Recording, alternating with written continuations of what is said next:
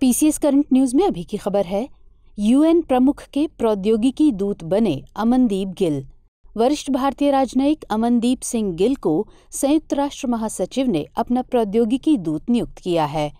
प्रौद्योगिकी दूत के रूप में अमनदीप गिल का प्राथमिक दायित्व ये निर्धारित करना होगा कि सतत विकास लक्ष्यों पर प्रगति के लिए किस प्रकार समावेशी रूप से डिजिटल परिवर्तन का लाभ उठाया जाए।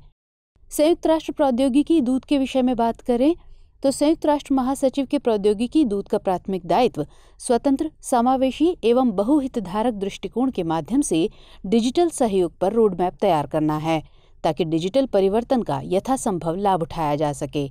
साथ ही यह डिजिटल सहयोग के लिए एक अधिवक्ता एवं केंद्र बिंदु के रूप में भी कार्य करता है, ताकि सदस्य राज्यों, निजी क्षेत्र, नागरिक समाज, शैक्षणिक एवं तकनीकी समुदायों के बीच व्यापक सहयोग को बढ़ावा दिया जा सके। आइए अमनदीप सिंह के बारे में जानते हैं। तो ये वर्ष उन्नीस में भारत की राजनयिक सेवा में शामिल हुए थे।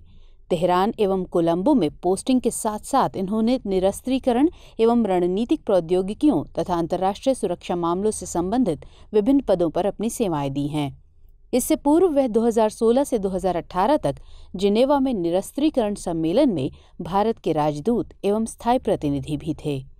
गौरतलब है कि वर्तमान में वह जिनेवा स्थित graduate institute of international and development studies में international digital health and artificial intelligence research collaborative, यानी I D A I R project के मुख्य कार्यकारी अधिकारी के रूप में कार्यरत हैं।